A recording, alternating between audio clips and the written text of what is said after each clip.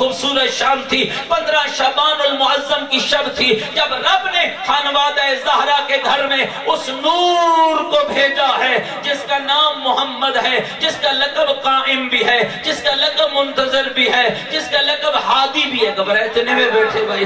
दो सौ पचपन हिजरी, पंद्रह शाबान की शब को इमाम हसन अस्करी के आँगन में वो खूबसूरत फूल खिला है। दो सौ साठ हिजरी में इमाम हसन अस्करी की शहादत हो जाती है। दो सौ साठ हिजरी से लेकर तीन सौ उनतीस हिजरी तक इमाम की गैबत सुमरा का दौर होता है। और दोस्तों, ये वही दौर है जिस दौर के अंदर लोग आते थे इमाम के नायब खास तक, कभी हुसैन बिन रूह तक, कभी फुला तक, कभी फुला तक लोग इन तक आते, ये इमाम तक जाते जो मसाइल हल हो जाते। लेकिन जैसे ही तीन सौ उनतीस हिजरी का चाँद नमूदार हुआ, इमाम ने अपने आखिरी नायब खास को फरमाया, आज के बाद तेरी मेरी मुलाकात मुमकिन नहीं है। फुला वक्त तेरी दुनिया से जाने का वक्त है, तेरे बाद मेरा कोई ऐसा नायब नहीं होगा जो मुझ तक डायरेक्ट आएगा।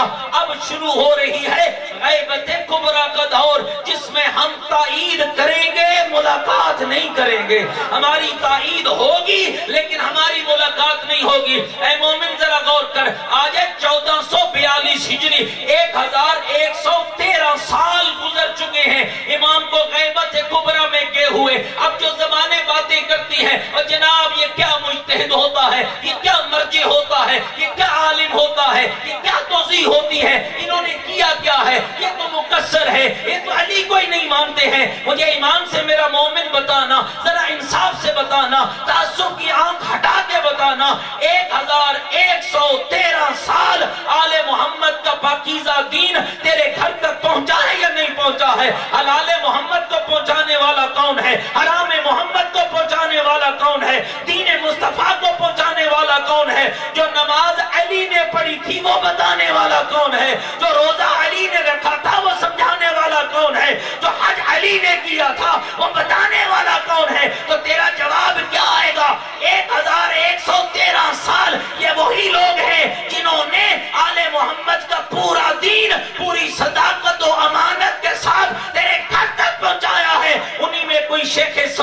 कहलाता है। उन्हीं में कोई शेख मुफीद कहलाता है। उन्हीं में कोई याकूब कुलैनी कहलाता है। उन्हीं में कोई सैयद रज़ी कहलवाता है। उन्हीं में कोई शहीद बाकिर सदर कहलवाता है। उन्हीं में कोई आयतुल्ला खोई कहलवाता है। उन्हीं में कोई खुमैनी शिकन बन के आया है। और उन्हीं में कोई खामनाई बन के आया है। कोई सीस्तानी बन के आया है।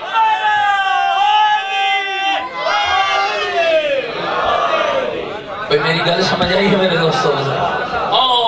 अल्हम्दुलिल्लाह सुम्मा अल्हम्दुलिल्लाह, ये वो पाकीज़ा दीन है जो रब ताला ने इन पाकीज़ा रास्तों से, और हाँ ये बात मैं कह दूँ, आज आम नाकुल लोगों को ये पता ही नहीं होता है। कभी ये मौलवी हज़रत कहते हैं, इस गैबत में हमारे वारिस सिस्तानी है, हमारे वारिस सैयदुल्लाह खामनाई है। हाँ मैं बिल्कुल कहता हूँ, मेरा वारिस सैयद अली सिस्तानी है, मेरा वारिस सैयद खामनाई है, लेकिन इनके वारिस होने से बारहवें के वारिस होने की नफी नहीं होती है।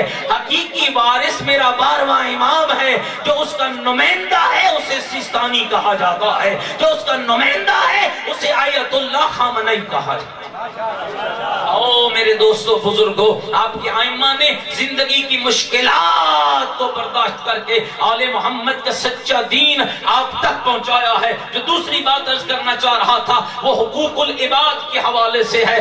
कितना खूबसूरत पैगाम है तेरे इमाम का। इमाम का शिया है, जिसका नाम है हज़रत सफवान बिन जमाल। घबरातने में बैठे भाई।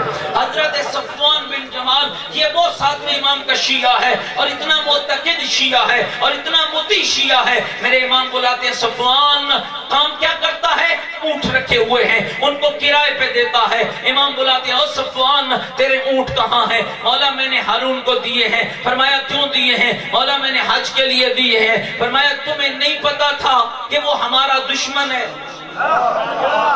कोई तो मेरी गल समझ रहे हो, नहीं समझ रहे तुम्हें नहीं पता था कि सफवान वो हारून हमारा दुश्मन है। हाँ मौला पता तो था, लेकिन मैंने गलत काम के लिए तो नहीं दिए। आपको अजियत पहुँचाने के लिए तो नहीं दिए। मौला ने मैंने वो ऊँट उसे हज पर तवज्जो रखना, हज पर जाने के लिए दिए हैं। मेरे इमाम फरमाते, सफवान, दुआ माँगता है ना कि वो खैरियत से लौट आए? हाँ मौला, बिल्कुल दुआ माँगता हूँ, इसलिए कि वो लौटेगा तो मेरे ऊँट लौटेंगे। मेरे ऊँट लौटेंगे तो मुझे किराया मिलेगा। फरमाया, सफवान, जा, तू हमारी शीयत से खारिज हो गया है। जो शख्स हमारे दुश्मन के जीने की दुआ करे, वो हमारा शिया नहीं रहेगा और जो शिया को छोड़कर दुश्मन की गोद में जा बैठे, जो मोमिन का एहतसाल करके दुश्मन को फ़ायदा पहुँचाए, जो मोमिन की तोहिन करके अगयार को फ़ायदा पहुँचाए, फिर खुद गौर करे इमाम उसके साथ क्या करेंगे, और वो इमाम की बारगाह और कचहरी में उसका मकाम क्या होगा?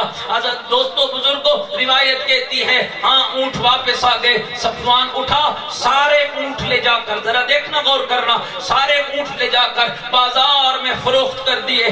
हारून ने बुलाया सफान तेरे ऊँट कहाँ गए? का मैंने बेच दिए हैं? का क्यों बेचे हैं? का मेरा माल था मैंने बेच दिया? का मैं जानता हूँ, मूसा काजिम ने तुम्हें कहा है, इसलिए तूने ऊँटों को बेचा है। कमाल की शीयत और कमाल की मोहब्बत थी दोस्तों। मुस्करा के कहने लगा, हारून, मूसा काजिम ने ऊँट बेचने का कहा था। अगर जान बेचने का भी कह देते, मैं बेचने से दरेग न बेचने से दरेग न करता। बस आखिरी पैगाम दोस्तों और जहमतों को तमाम करूँगा। तेरे मेरे इमाम की ज़िंदगी का खूबसूरत तरीन पैगाम है। हकूकुल इबाद को अदा करना। तो मैं बात कर रहा था 2014 में जब हम आयतुल्लाह सैयद अली सिस्तानी दामजिल अली की मुलाकात के लिए गए, हम बैठे हाँ किबला ने कहा पाकिस्तान से मुस्करा के फरमाने लगे, हर सुबह की नमाज़ के बाद हर पाकिस्तानी मोमिन के हक में मैं खैर की दुआ करता हूँ, मैं खैर की दुआ करता हूँ। फिर मैंने अर्ज़ की, किबला, हम वाइज हैं, हम खतीब हैं, हम मजालिस पढ़ते हैं। आ हमें हुक्म दीजिए, हम मिंबर पे क्या बात बयान करें, कोई नसीहत कीजिए। फरमाया, जब भी तुम्हें अपने मुल्क के अंदर मिंबर हुसैन नसीब हो, उस मिंबर पे बैठ के समझाया करो, ये मोमिन के लिए, मोमिन के हक की अहमियत क्या है?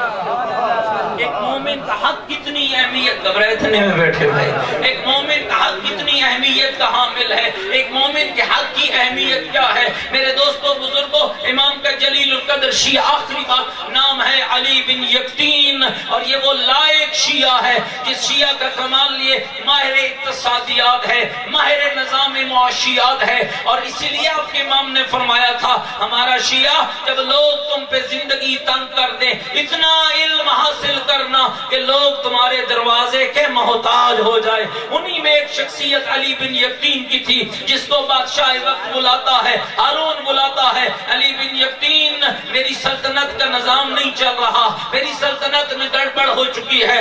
आ, जरा तू मेरा वज़ीर आज़म बन जा। कमाल का जवाब है दोस्तों, कितनी बड़ी कुर्सी है। पूरी इस्लामी स्टेट और पूरी इस्लामी रियासत का वज़ीर आज़म बन जा। हज़रत फरमाते कल जवाब दूँगा। वहाँ से उठे सीधा सातवें इमाम की खिदमत में हाजिर हुए। अस्सलाम वालेकुम रसूलुल्लाह। और रसूलुल्लाह के बेटे, मेरा सलाम हो। अलैकुम या अली। अली बिन यकीन तुम पर भी मेरा सलाम हो। अली बिन यकीन तुम पर भी मेरा सलाम हो। फरजंद रसूल, आज मुझे हारून ने बुलाया था। फरमाया, क्या कहता था? मौला वो कहता था, मैं तुम्हें वज़ीर आज़म बनाता हूँ। फरमाया, फिर तुमने क्या किया? मौला, मैंने कहा, कल जवाब दूँगा। फिर तेरा जवाब क्या है? मुस्करा के अर्ज़ करने लगा। फरजंद रसूल मेरा जवाब आपके हुक्म के सिवा क्या हो सकता? अल्लाह या रसूल। अल्लाह। अल्लाह सल्ला फर्जंद रसूल, मेरा जवाब आपके सवाल के, आपके हुक्म के अलावा क्या हो सकता है? फरमाया, अली बिन यकीन, बन जाओ वज़ीर आज़म लेकिन ख्याल करना, तेरी वज़ीर आजमी मेरे शिया का नुकसान न करे। मेरा इकतदार, मेरे मुहिब का नुकसान न करे, मेरे चाहने वाले का नुकसान न करे, मेरे शिया का नुकसान न करे। दोस्तों, बहुत मदद की है उसने अहलबैत के शियों की और बहुत काम किया है अहलबैत के शियों के लिए। लेकिन ज़िंदगी का एक लम्हा तारीख ऐसा लिखती है, इब्राहिम कूफी है, इमाम मूसा काजिम का शिया है, चलता है और बगदाद पहुँचता है, इसके दरवाजे पे दक्कुल बाप करता है, ये किसी काम में मसरूफ होता है। आँख का पूछ कहता है, जाओ उसे जाकर कहो, इमाम मूसा काजिम का शिया आ इब्राहिम कूफी आया है।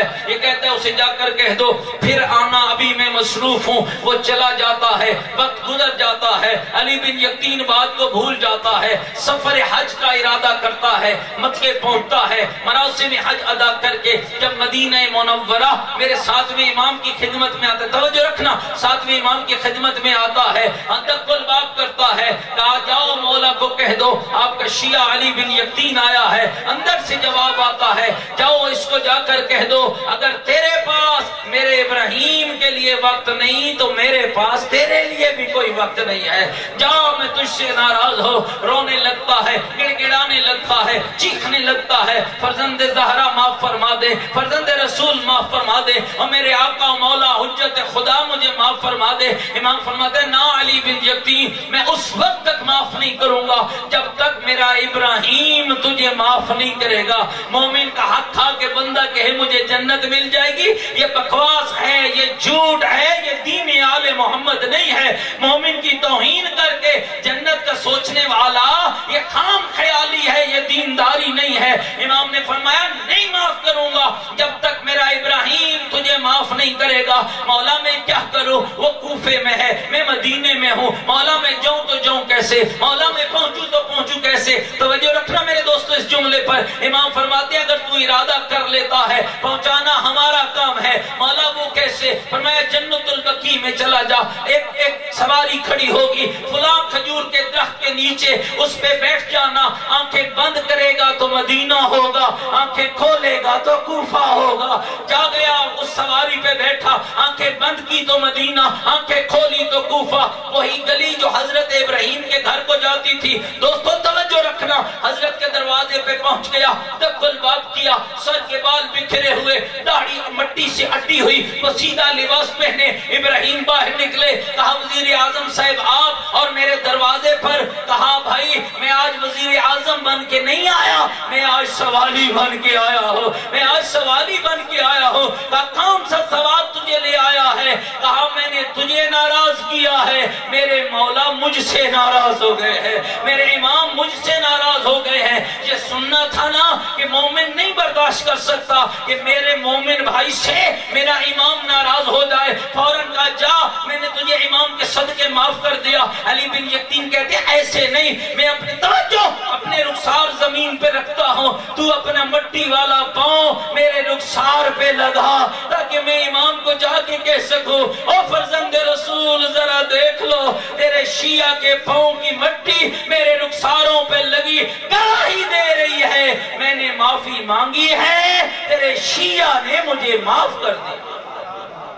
आओ मेरे दोस्तों, बुजुर्गो इस दीन की कदर करो। जिस दीन पे तेरा और मेरा लगा कुछ नहीं, मोहम्मद की बेटी का बचा। आखिर में इमाम के मसाइल पढ़े जाएँगे। मैं उधर नहीं, मैं फकत एक जुमला कहना चाहता हूँ। आज जिसका रोज़े शहादत मनाने आए हो। ज़िंदगी इसकी बड़ी मुश्किल थी, बहुत मुश्किल थी। लेकिन मैं कहा करता हूँ, अभी आपने जनाजा बनाया ना इमाम का? हाँ इस जनाजे की शबी बनाई। ये आपकी अकीदत थी, ये आपकी मोहब्बत थी। लेकिन जो जनाजा बगदाद के पुल पे लाया गया उसकी हालत ये न थी दोस्तों, उसकी हालत ये थी, एक कैदी था, जंजीरों में जकड़ा हुआ उसका लाशा था, और चार मजदूर उस जनाजे को उठा कर लाए, एक आगे आगे आवाज़ दे रहा था और लोगों राफजियों का इमाम मारा गया। और लोगों राफजियों का इमाम मारा गया। बस मैं यही से एक जुमला और अर्ज़ करना चाहता हूँ। मौले मुस्काजिम जहर भी आपको मिला है। मौला आपका जनाजा मजदूरों ने उठाया है। लेकिन मौला खुश नसीब हो, जब फुल्ले बगदाद पे तेरा जनाजा मजदूरों ने रख दिया, तेरे शियों को हो गई खबर। मौला तेरे शिया जोक दर जोक तेरे जनाजे पे बढ़ने लगे। और तेरा अली रजा भी पहुँच गया। जंजीर उतर गए, कफन पहनाया गया। मौला जंजीर उतारे गए, गुसल दिया गया। मौला तुझे कफन पहनाया गया। और तेरे अली रजा ने तेरा जनाजा पढ़ा। और दुश्मन इतना खौफजदा हुआ कि अपनी कुछारों में छुप गया। मौला बगदाद का पुल हो, बाबे का जनाजा हो, मंजर और है। ज़मीन करबला की हो। जनाजा गरीब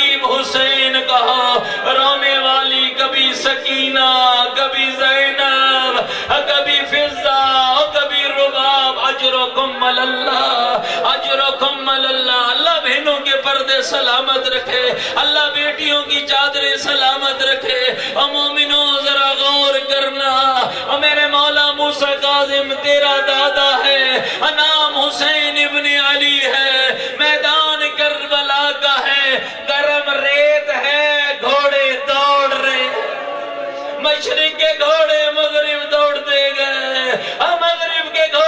घोड़े मशरक दौड़ते गए। मेरे मौला और तेरा जनाजा मजदूरों ने उठाया। उठाया तो सही है। मेरा सलाम हो करबला के गरीब सैयद सजाद पर। और जिसने बाबे का जनाजा कैसे उठाया, सुन पाओगे? साहब सादत उद्दारैन ने लिखा, एक कपड़े का टुकड़ा मंगवाया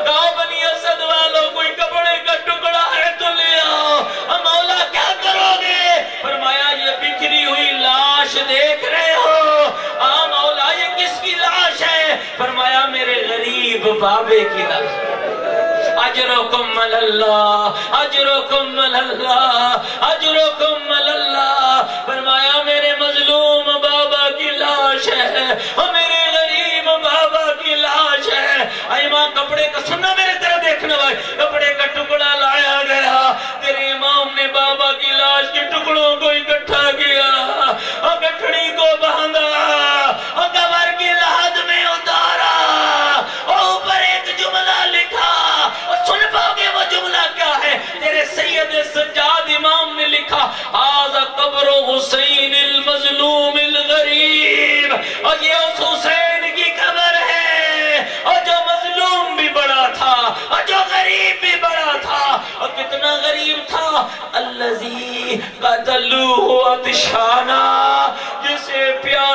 मारा गया।